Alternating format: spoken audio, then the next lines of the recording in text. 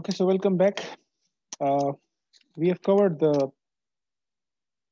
parallel polarization case of oblique incidence. And we derived the expressions for reflection coefficient and transmission coefficient, as well as we also uh, uh, another concept of uh, Brewster angle. And we found that in case of parallel polarization, there is a possibility that we will have a Brewster angle. Okay, so there will be a special angle. If wave is incident at that angle, then there will be no reflection. Now, if you analyze the other possibility of oblique incidence, जिसको मैंने perpendicular polarization का नाम दिया हुआ है as I mention इसको मैं ज़्यादा डिटेल में नहीं जाना चाहता क्योंकि एग्जैक्टली सेम प्रोसीजर आप यूज़ कर सकते हैं जो पैरल पोलराइजेशन का है बट इवन देन मैं कुछ ब्रीफली जो इम्पोर्टेंट पॉइंट्स हैं उनको मैं कवर कर लेता हूँ so that when you go through the book you will not face any problem okay so perpendicular polarization को हमने डिस्क्राइब किस तरह किया हुआ है कि इसमें क्या होगा? Electric field will be.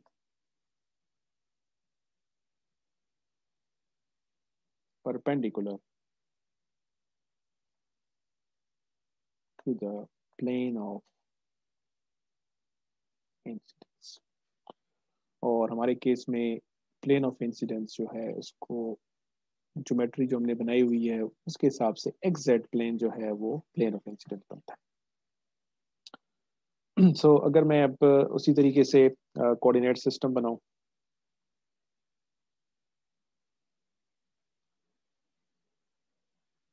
This is Z direction this is X direction and Y axis is out of the screen और ये हमारी जेड इक्वल टू ज़ीरो जो है बाउंड्री हो गई। और वेव जो है आ, उसी तरीके से obliquely incident over here. So incident wave is like this.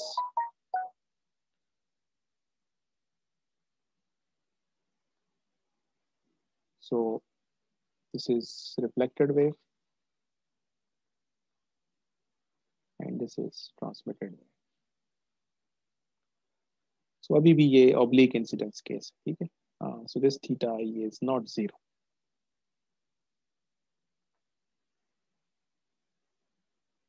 This is our refraction angle अब difference कहाँ पे है when you start solving this uh, problem you have to specify कि electric field को perpendicular होना चाहिए plane of incidence ठीक है so again uh, दो possibilities हो सकती हैं uh, या तो मैं इलेक्ट्रिक फ़ील्ड को uh, out of the screen ले सकता हूँ, या मैं इलेक्ट्रिक फ़ील्ड को इन टू द स्क्रीन ले सकता हूँ। दोनों केस में इलेक्ट्रिक फ़ील्ड जो है वो प्लेन ऑफ़ इंसिडेंस के क्या है परपेंडिकुलर होगी। ठीक हो गया?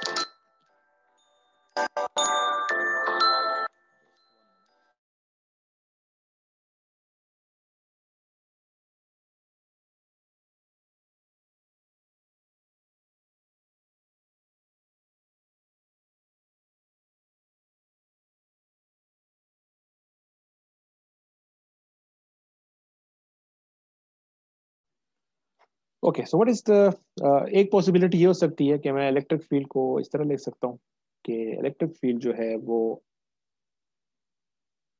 आउट ऑफ़ द स्क्रीन है। सो मैं इसको इस तरह रिप्रेजेंट कर रहा हूँ। सो so, अब electric field incident electric field को मैं इस तरह रिप्रेजेंट करूँगा। जिस तरह मैं पहले बता चुका हूँ कि इस इंडिकेशन का मतलब क्या है? Sorry not in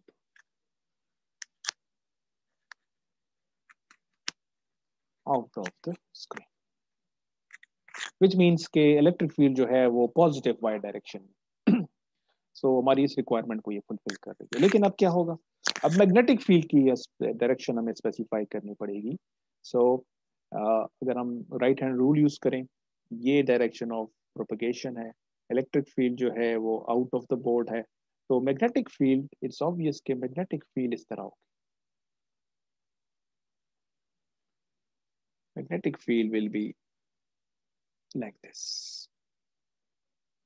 So, ये जो मैंने एरो बनाया हुआ है, ये अब आपको शो कर रहा है मैग्नेटिक फ़ील्ड की direction so now the situation is reverse अब मैग्नेटिक फ़ील्ड वेक्टर जो है, इस तरह ओरिएंटेड है कि वो एक्स जेड प्लेन में लाइक कर रहा है। इसका मतलब है कि मैग्नेटिक फ़ील्ड का एक्स कंपोनेंट भी होगा और जेड कंपोनेंट भी होगा। ठीक है? सो यू कैन अगर मैं इसको रिजॉल्व करना अगेन ज्योमेट्रिकली मैं शो कर लेता हूँ, फिर आप इजीली इसको इक्वेशन ड्राइव कर लेंगे कि मैग्नेटिक फ़ील्ड वेक्टर को हमें जब रिप्रेजेंट करना होगा तो हमें इसको इस तरह करना होगा कि वी नीड टू कंसिडर के इसका एक कंपोनेंट ये होगा,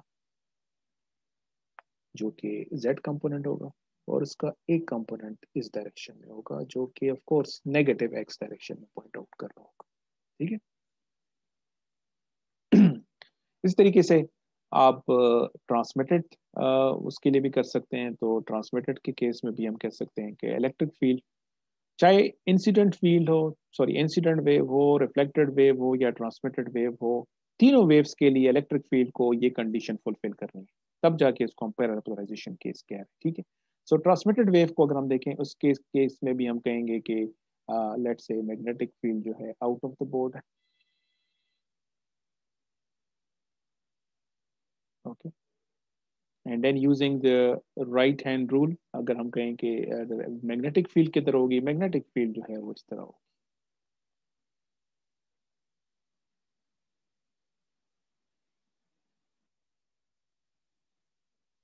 So electric field magnetic field and direction of propagation are always perpendicular उसके बेस पे हमने देख लिया कि अगर डायरेक्शन ऑफ़ ट्रांसमिटेड वेव इस तरह प्रोपगेट कर रही है मैग्नेटिक फ़ील्ड जो है सॉरी इलेक्ट्रिक फ़ील्ड इसके बिल्कुल परपेंडिकुलर है आउट ऑफ़ द स्क्रीन है तो मैग्नेटिक फ़ील्ड को ये होना पड़ेगा। So again point your fingers towards the direction of electric field और uh, उसको मूव करें टूवर्ड्स दिस डायरेक्शन तो आपकी थम जो है इस डायरेक्शन में पॉइंट आउट कर रही है। ठीक है? सिमिलरली रिफ्लेक्टेड वेव के लिए हम क्या करेंगे? रिफ्लेक्टेड वेव के लिए भी uh, अब हमें डायरेक्शन ऑफ़ इलेक्ट्रिक फ़ील्ड को अब इनटू द बोर्ड शो करना पड़ेगा। सो so, ये अब आपके पास है E e are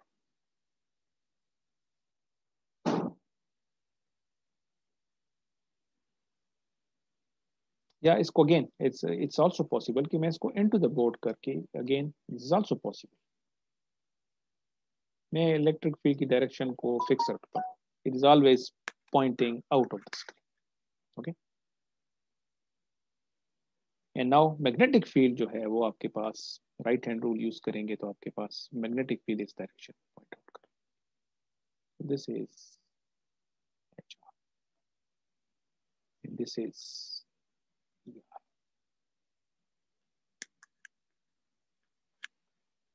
okay, let me share the attendance link. So chat window में मैंने attendance link share कर दी so you can mark your attendance for today's lecture.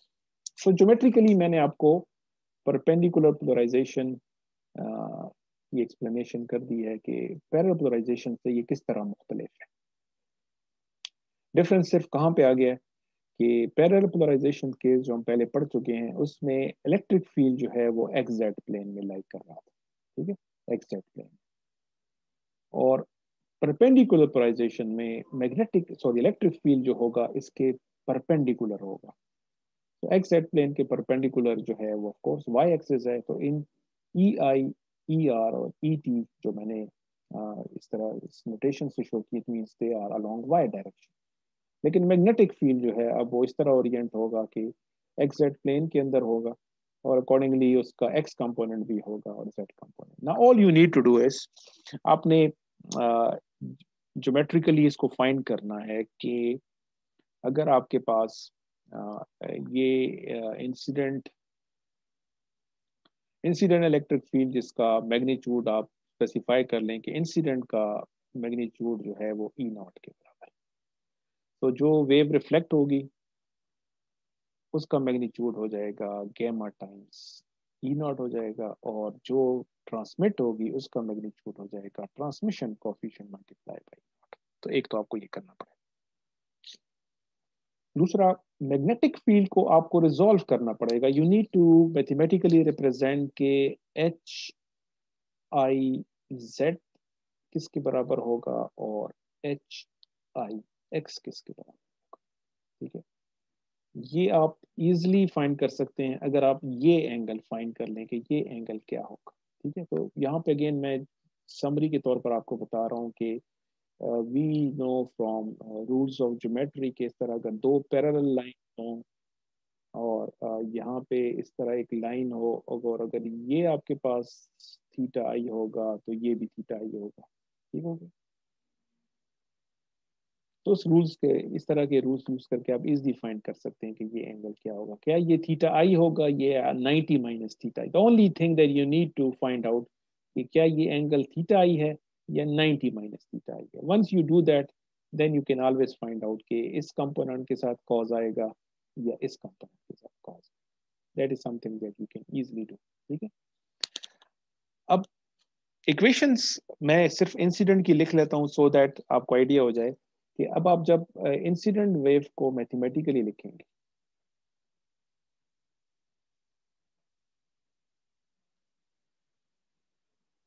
So E I अब इंसिडेंट इलेक्ट्रिक फ़ील्ड जिस तरह मैंने कहा था कि it is only having Y component तो आप क्या लिखेंगे? वाई लिखेंगे वाई यूनिट में।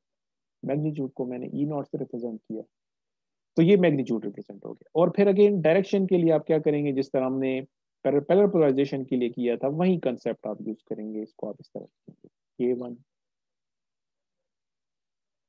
X theta I plus Z cos it is again an indication के जो वेव है, जो प्रोपोगेट कर रही है, वो एक्स डायरेक्शन में भी डिस्टेंस ट्रेवल कर रही है और जेड डायरेक्शन में ट्रेवल कर रही है। और ये एक्सप्रेशन हमने कैसे निकाली थी, जिस तरह पहले हमने किया था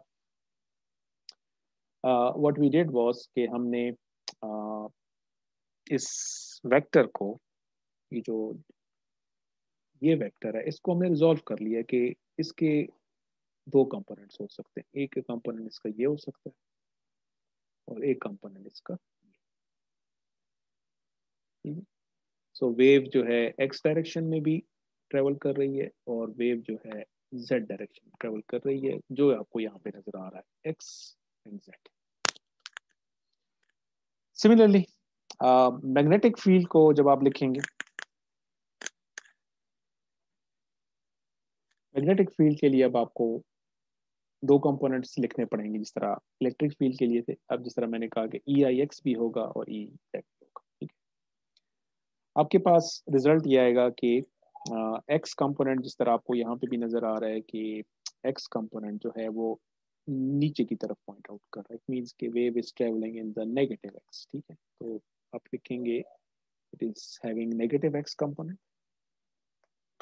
magnitude इसका हो जाएगा magnitude of the electric field E nought divided by the impedance eta nought और इसके साथ आपके पास आ जाएगा कॉस थीटा और z डायरेक्शन में, क्योंकि ये पॉजिटिव z डायरेक्शन में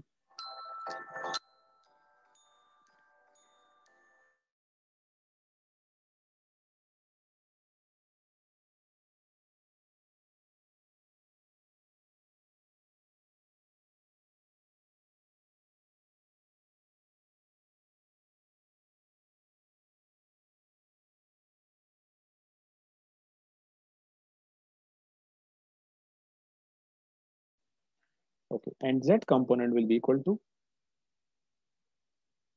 eta, sorry e naught by eta 1 और इसके साथ आपके पास साइन थीटा और डायरेक्शन के लिए उसी तरीके से आप लिखेंगे e power minus J K one X sine theta I plus Z cos theta again the procedure is exactly similar कि आपने रिफ्लेक्टेड वेव के लिए फिर एक्सप्रेशंस लिखनी होंगी। फिर आप ट्रांसमिटेड वेव के लिए लिख देंगे।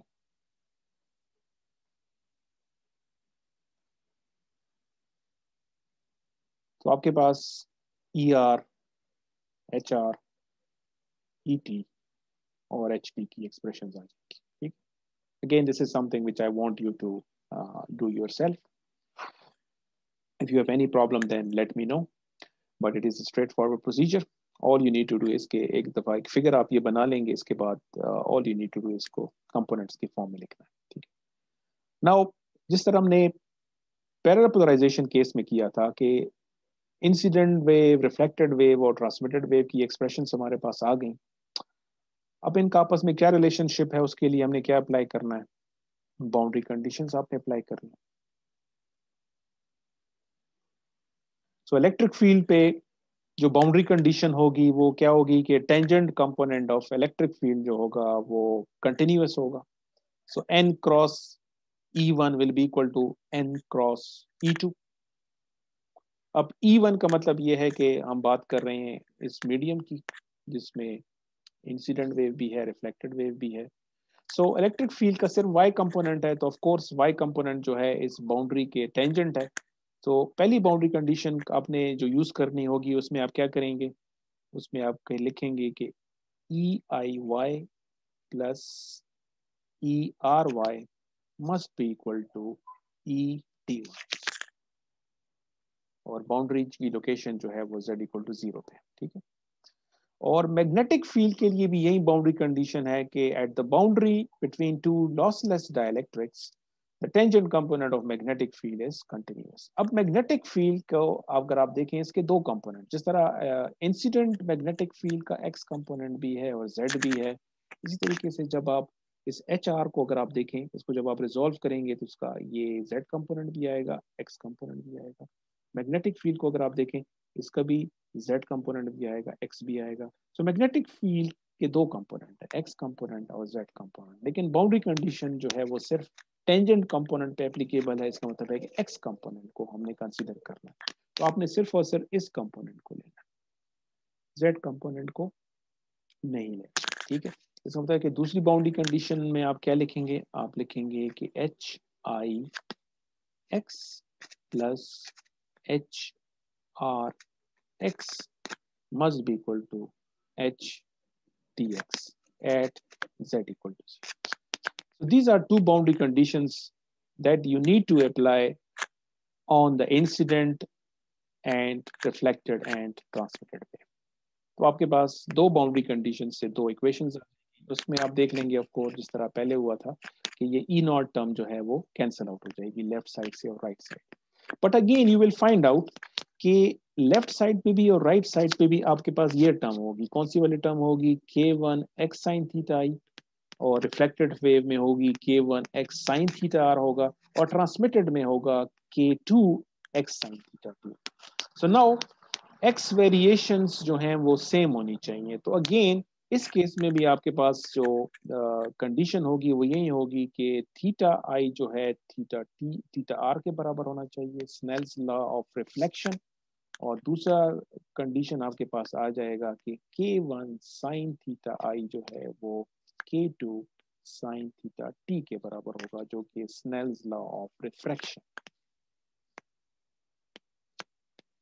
boundary condition के साथ फर्दर ये कंडीशंस भी ज़रूरी हैं, तब जाके हमारे पास ये कंडीशन सेटिस्फाई होंगी। तो अगेन आपके पास अगेन अब चार कंडीशन आ जाएँगी। This one this one this one this one and again हमारे पास फोर अननोन्स हैं। गैमा टी थीटा आर और थीटा टू ये हमारे अननोन्स हैं। तो इस तरीके से आप सॉल्व कर लेंगे।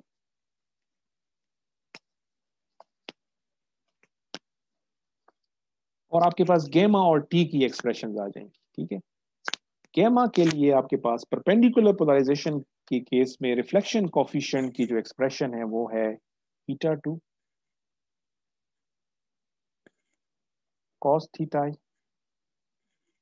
1 cos theta t divided by eta 2 cos theta i plus eta 1 cos और ट्रांसमिशन कॉफिशिएंट आपके पास आएगा two theta 2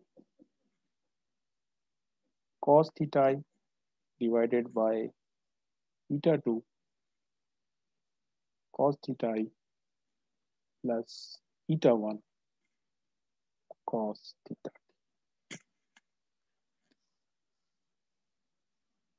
these expressions are valid for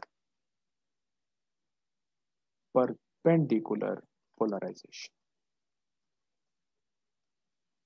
If you compare uh, these two expressions uh, with the previous uh, expressions that we derive for parallel polarization, तो आपको difference नज़र आ जाएगा। Difference जो है आप चेक कर लें यहाँ पे जब हम पैरेलल पोलराइजेशन के लिए केस किया था वहाँ पे इस जगह पे थीटा टी था यहाँ पे थीटा आई था। यहाँ पे थीटा टी था यहाँ पे थीटा आई था।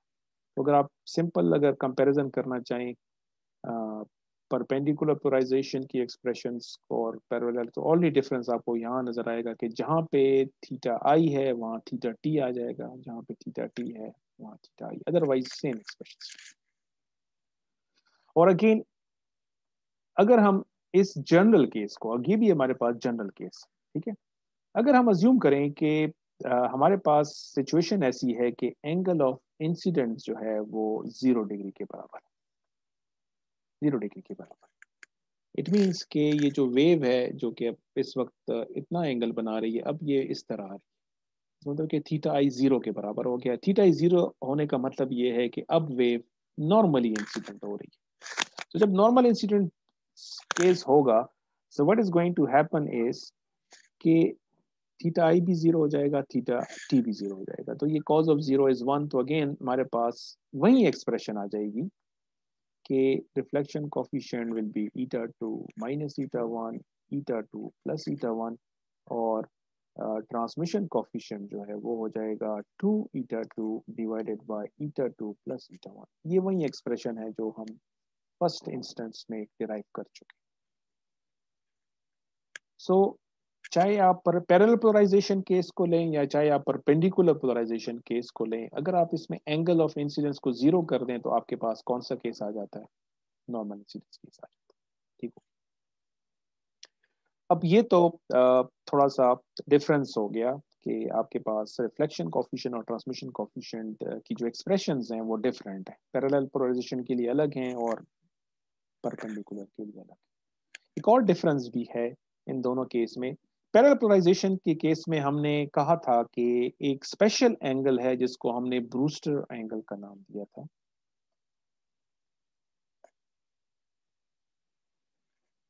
जिसके लिए हमारे पास सिचुएशन ये थी कि रिफ्लेक्शन कॉफिशिएंट जो है वो ज़ीरो हो जाता है। लेकिन परपेंडिकुलर पोलराइजेशन के केस में ऐसा कोई भी ऐसा एंगल नहीं होगा जहाँ पे आपको ये कंडीशन मिले। तो मैं इसकी स्टेटमेंट लिख रहा हूँ। There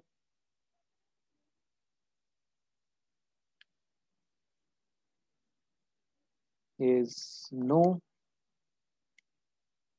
Brewster angle for perpendicular polarization.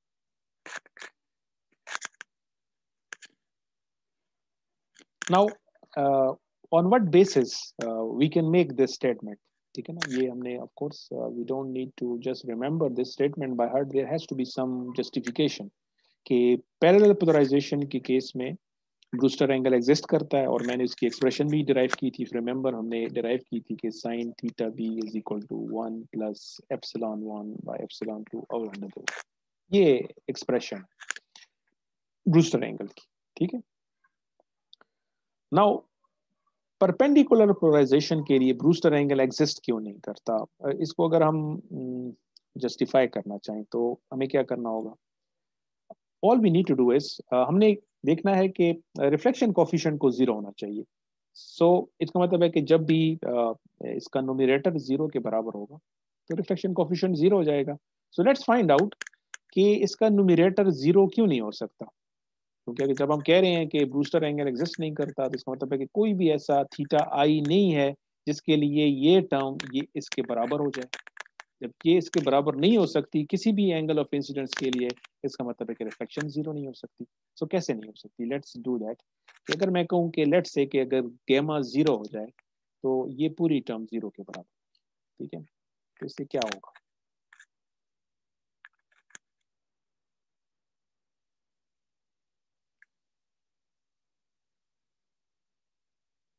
So let gamma equal to zero for perpendicular polarization.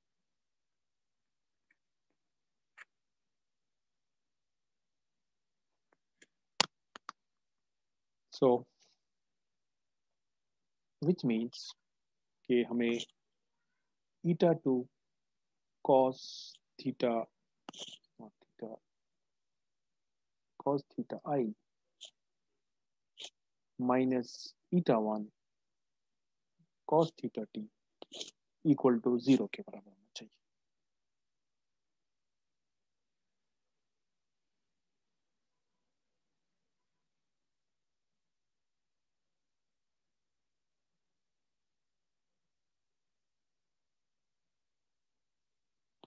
So it means के हमारे पास eta two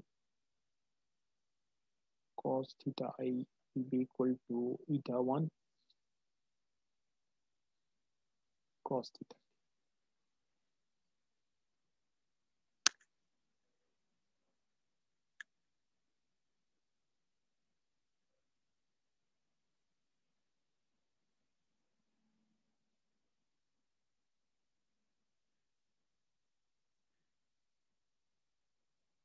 now the question is के व्हाट इज़ द प्रॉब्लम कि ये दोनों इक्वल नहीं हो सकते? जिसकी वजह से हम कह रहे हैं कि uh, ये ज़ीरो नहीं हो सकता। ठीक है? So let me do that so we can make use of same idea जो हमने पहले किया था कि cos थीटा t को हमने इस तरह लिख दिया था। Eta 2 by eta 1 cos theta i.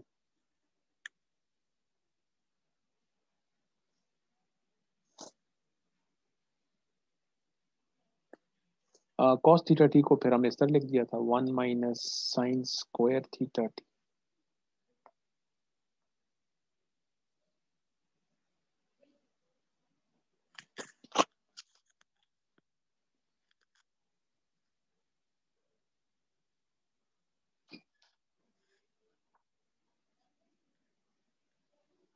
और इसको भी सेलेक्ट देंगे। One minus sine square theta की फॉर्म में लिख देता हूँ? ठीक है यहाँ पे फिर हम Snell's law of reflection use किया था हमने। सो so, हमने कहा था कि अगर के वन साइन थीटा आई बराबर होगा के टू साइन थीटा टी के बराबर ठीक है? सो इसकी वजह से हमने साइन थीटा टी की जगह लिख लिया था। K one divided by k two divided into sine theta i ठीक है? So one minus k one square k2 square sine square theta i root. यहाँ पे आ, हमने इसको इस फॉर्म में लिख लिया था फिर रिमेंबर के ईटा वन को मैंने लिखा था कि it is equal to mu by epsilon one under the root और ईटा टू को हमने लिख दिया था कि this so if you substitute that तो यहाँ पे हमारे पास ये आ जाएगा कि epsilon one by epsilon two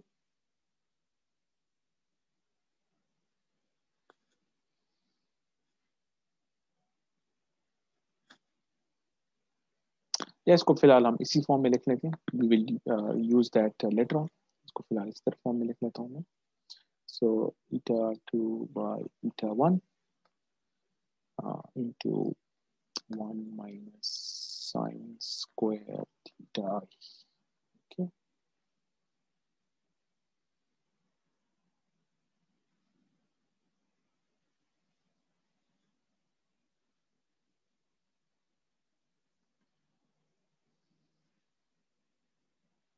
इसका स्क्वायर ले लेते हैं दोनों साइड पे.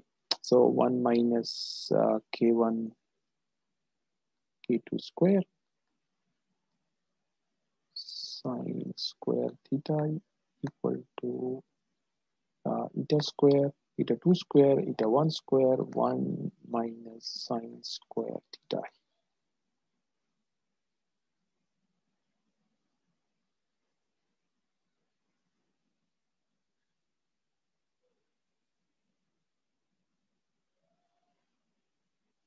Now, what you need to do is कि जो साइन स्क्वायर टर्म है इनको आपने एक साइड पे करना है और जो बाकी टर्म है उनको दूसरी साइड पे करना है, ठीक है सो साइन स्क्वायर वाली टर्म्स को एक साइड पे करना है, बाकी को दूसरी साइड पे करना है। So what you will get is you will get this you will get k2 square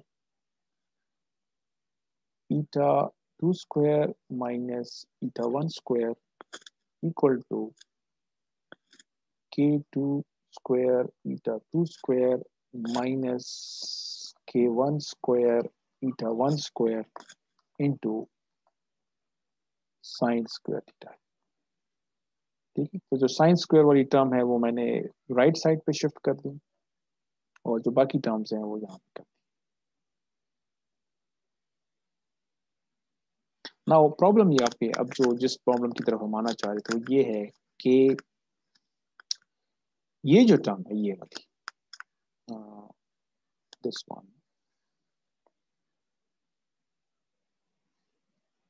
k two square eta two square minus k one ये हमेशा ज़ीरो होगी it is identically zero for dielectric.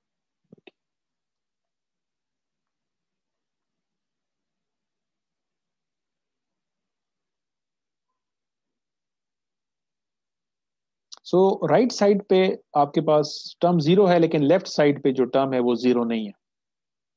Which is kind of a contradiction के ये जो मैंने equality लिया हुआ है, ये आपके पास पॉसिबल नहीं। जब ये इक्वलिटी पॉसिबल नहीं है तो अगर आप देखें, हमारी सारी एजम्पन इसी की बेस के ऊपर थी कि हमने कहा था कि इसको हम ज़ीरो कर लेते और उसकी ज़ीरो करने का मतलब ये था कि वी नीड टू इंश्योर कि ये न्यूमिरेटर ज़ीरो होना चाहिए। ठीक है?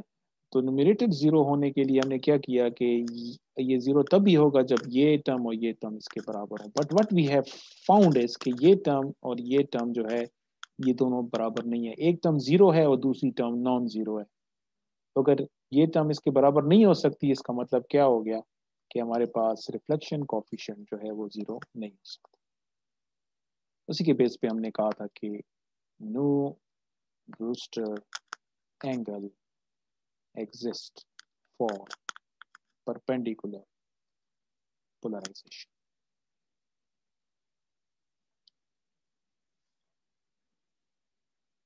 अब ये जो मैंने ये स्टेटमेंट लिखी है आइडेंटिटी के लिए इक्वल टू ज़ीरो इसको आप चेक कर सकते हैं। किस तरह मैंने ऑलरेडी डिफाइन किया हुआ है कि के टू को किसकी इक्वल लेंगे? आप के टू को इसकी इक्वल लेंगे।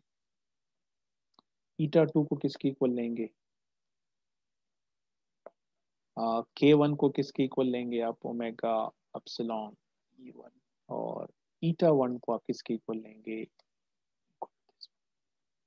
अगर आप ये वैल्यू सब्सटीट्यूट करें आप देखेंगे कि ये टर्म और ये टर्म दोनों इक्वल होंगे तो ये हमेशा ज़ीरो आएगा। तभी मैंने ये लिखा है कि it always zero for dielectric media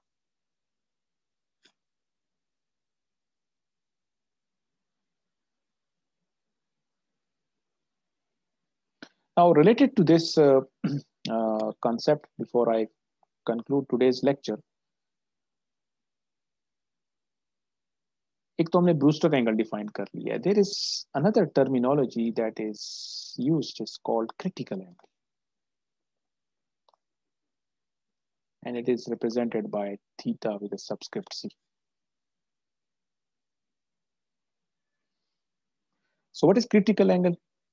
Critical angle को हम डिफाइन करते हैं the incidence angle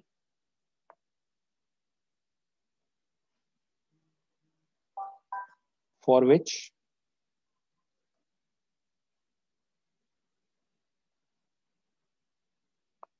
theta t is equal to 90 degree. So critical angle is that incidence angle for which the angle of refraction becomes equal to 90 degree. So so, अगर हम इसको graphical interpretation देना चाहें कि हमारे पास एक ऐसा एंगल है, जिसको मैं अब थीटा सी कहूँगा।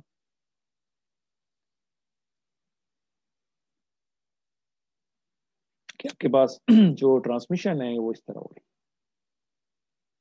तो ये जो आपके पास एंगल है थीटा टी जो है, ये 90 डिग्री बन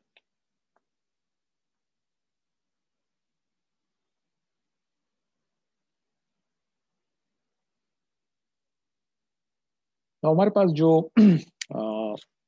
स्नेल्स लॉ ऑफ़ रिफ्रैक्शन है, वो ये है कि के वन साइन थीटा आई जो कि इंसिडेंस एंगल है थीटा इसका ताल्लुक थीटा टी के साथ इस तरह ठीक होगी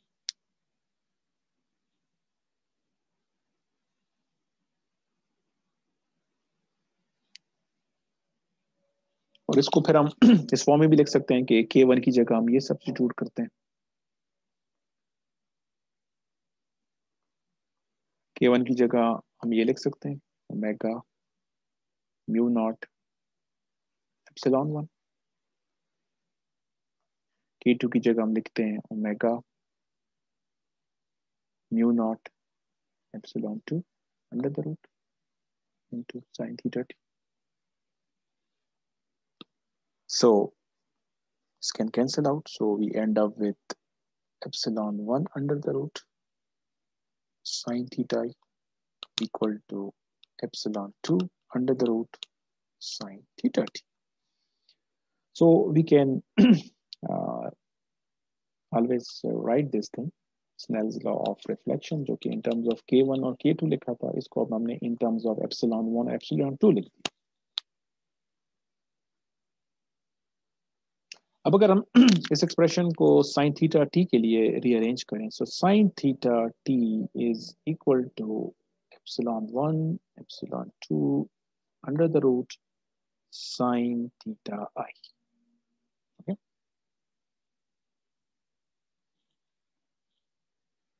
ये जो एक्सप्रेशन है, इसको अगर आप देखें और इसको कंसीडर करें कि एक सिचुएशन हमारे पास है कि uh, medium 1 permittivity is more than the medium 2 permittivity. Other words के यहाँ पे जो मीडियम है एप्सिलॉन वन है और यहाँ पे जो मीडियम है उसकी परमिटिविटी एप्सिलॉन टू है। लेकिन सिचुएशन ये है कि जिस मीडियम uh, में वेव इंसिडेंट जिस मीडियम से वेव इंसिडेंट हो रही है उसकी परमिटिविटी इससे ज़्यादा so epsilon one is equal to epsilon अब अगर हम एंगल ऑफ़ इंसिडेंस को इंक्रीज करेंगे so correspondingly angle of refraction भी इंक्रीज होता जाएगा।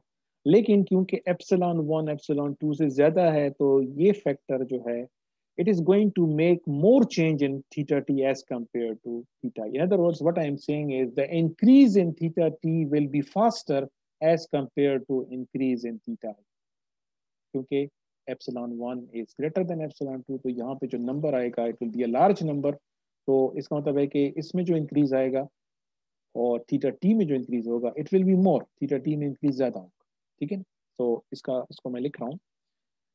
इस सिचुएशन के लिए क्या होगा?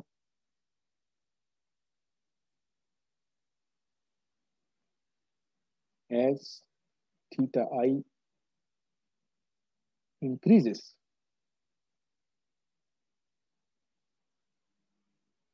theta t will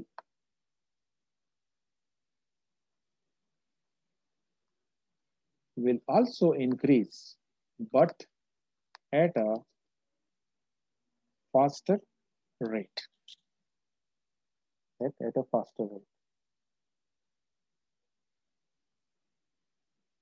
so so, इसका मतलब है कि थीटा आई को आपने ज़ीरो से बढ़ाना शुरू किया ज़ीरो वन टू तो ये भी बढ़ना शुरू हुआ।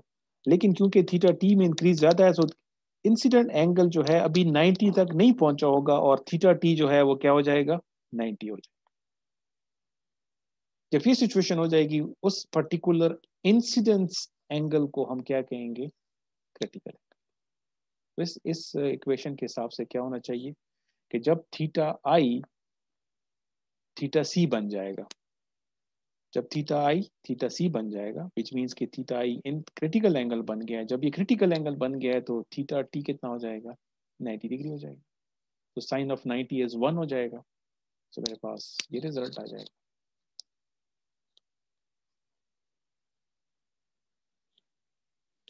सो so, इससे हम लिख लेंगे कि साइन थीटा सी किसके बराबर होगा? Epsilon two divided by epsilon one हो जाएगा। तो ये मेरे पास क्रिटिकल एंगल फाइंड करने की एक्सप्रेशन आ गई क्रिटिकल एंगल के लिए नेसेसरी कंडीशन क्या है? This one epsilon one epsilon two से ज़्यादा होना चाहिए। और दूसरी इंपॉर्टेंट बात कि अगर थीटा आई इंसिडेंट एंगल अगर थीटा सी से ज़्यादा हो जाए तो क्या फ़र्क पड़ेगा? हमने ये चीज़ तो वेरीफाई कर ली है कि जब angle of incidence critical angle के बराबर होगा सो थीटा टी नाइनटी के बराबर हो जाएगा। इसका मतलब है कि पहले अगर वेव अगर angle of incidence critical angle के बराबर नहीं था तो हमारे पास जो रिफ्रेक्टेड वेव थी, वो इस एंगल पे ट्रेवल कर रही थी। ठीक? हमने क्रिटिकल एंगल जब angle of incidence critical angle के बराबर हो गया तो वेव इधर बाउंड्री पे ट्रेवल कर रही है, ठीक है अब अगर हम एंगल ऑफ़ इंसिडेंस को क्रिटिकल एंगल से भी ज़्यादा कर लें, इसका मतलब है कि थीटा आई थीटा सी से भी ज़्यादा हो जाएगा तो ये इसका मतलब है कि ये ये सारी की सारी वेव अब इधर हो जाएगी So it means that all of the wave will be reflected. There will be no transmission. So final statement में क्या दे रहा हूँ? The incident wave will be totally reflected. And no wave will propagate into medium two और इस phenomena को हम क्या कहते हैं? Total internal reflection total internal reflection can anyone answer this question ये टोटल इंटरनल रिफ्लेक्शन का कोई प्रैक्टिकल यूज़ है? जहाँ पे हम इस कंसेप्ट को use करते हैं। Optical fibre yes optical fibre में हम इसको यूज़ करते हैं। उसका जो इनर कोर होता है ऑप्टिकल फाइबर का एप्सिलॉन वन और उसके बाहर जो क्लैडिंग होती है हम उसको इस तरह डिज़ाइन करते हैं कि कोर के जो परमिटिविटी है वो क्लैडिंग से ज़्यादा होती है। तो आपका जो सिग्नल है जो लाइट की फॉर्म में ट्रेवल कर रहा होता है वो कोर के अंदर ही ट्रेवल कर रहा होता है। इवन इट इज़ रिफ्लेक्टेड ये आपके पास इसके अंदर ही रिफ्लेक्ट हो रहा होता है, लेकिन बाहर नहीं आता, बाहर क्यों नहीं आता? बिकॉज़ ऑफ़ दिस फिनोमिन जो मैंने आपको एक्सप्लेन कर। ठीक है? Okay so with this we are finished with the introductory chapter of the book that we are following and this is what you can say कि इस वक्त हमने काइंड ऑफ़ रिवीजन की है ईएमएफ कोर्स की, जो आप जो इस course का prerequisite course ठीक है So from the next uh, class, we will be moving to the actual uh, microwave engineering topics. Okay. Uh, so maybe I may give you one assignment uh, based on chapter one, uh, and I will post that on Google Classroom, uh, as well as uh, I might also take one quiz as well. Uh, but uh, वो मैं classroom में फिर आपको uh, उसकी announcement कर दूँगा। ठीक हो गया any question from today's lecture no sir okay thank you very much see you next sir ji sir ये अटेंडेंस अभी लिंक जो शेयर किया था सर वो मैंने